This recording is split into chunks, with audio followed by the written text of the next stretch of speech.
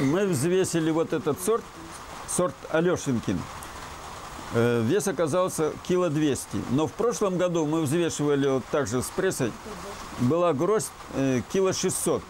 Виноградарь Александр Боровиков в этом году крайне доволен урожаем. Жаркое лето для винограда стало идеальным. На столе 11 сортов спелых сочных ягод. Чемпион по весу Алешенькин, раннеспелый зилга, кишмишный БЧЗ и обладающая земляничным вкусовым оттенком и долгим сроком хранения Магарача.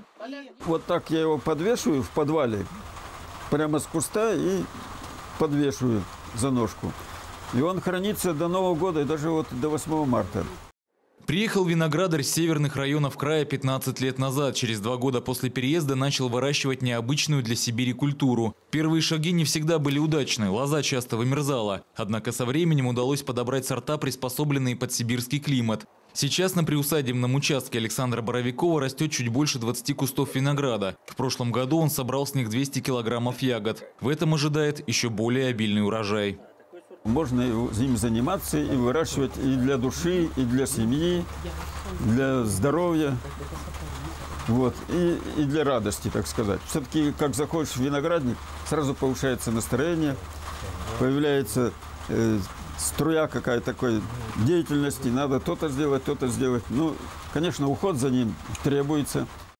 Большая часть ягод уходит на домашнее вино, остальное идет на засолку и компоты. Даже листьям находят применение. Готовят долму, бараний фарш в виноградных листьях. А недавно приобрели сушилку, которая позволила украсить стол новыми лакомствами. Я экспериментирую, ноу-хау, так сказать. Сушу в ней все подряд. Вот арбузы высушила, чипсы арбузные называются. Вот э, это пастила виноградная, э, тоже из винограда. Ну, короче, все, что есть под рукой и в саду, все туда. И все получается очень вкусно. Уже не первый год виноградарь устраивает осеннюю дегустацию. Чтобы оценить вкусовые качества, цвет, форму и размер разных сортов, приглашает своих односельчан и знакомых. Нам выдаются вот такие вот анкетки, где подписаны все сорта виноградов. Мы пробуем каждый сорт, и каждый оставляет свое личное мнение об этом сорте. Ну, ставим бальную систему, либо что-то описываем.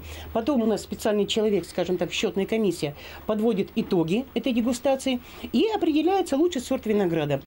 В этом году дегустаторы единогласно отдали предпочтение сорту Магарача. На следующий сезон по традиции победителю отдадут больше места на приусадебном участке виноградаря. Артем Ахальников, Алексей Фролов. Новости.